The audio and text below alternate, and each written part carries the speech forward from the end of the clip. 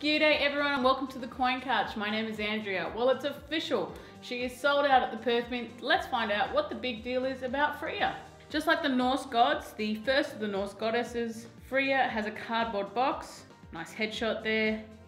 And this houses the main engraved wooden box.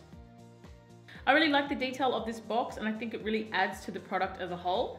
I think that the Perth Mint has done a great job here with the packaging. Inside is a certificate of authenticity with some information on Freya and of course the coin details. 2 ounce silver, antique finish with a maximum mintage of 2,000 pieces.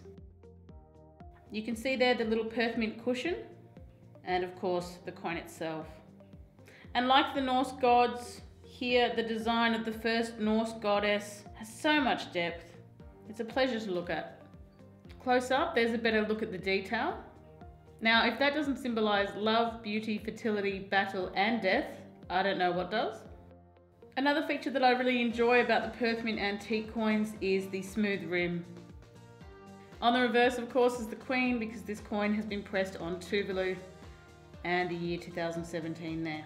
Well, it's a very nice coin with an extremely attractive mintage, and it's no surprise that with the success of the Norse gods, Freya would also be a popular issue.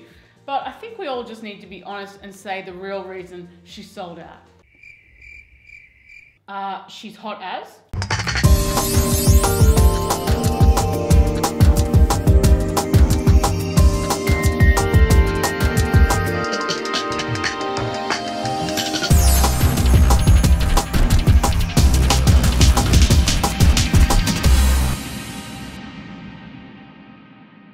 Give this video a big thumbs up if you also think Freya is a very attractive coin. My name is Andrea and I'll catch you next Monday on the Coin Couch. Bye.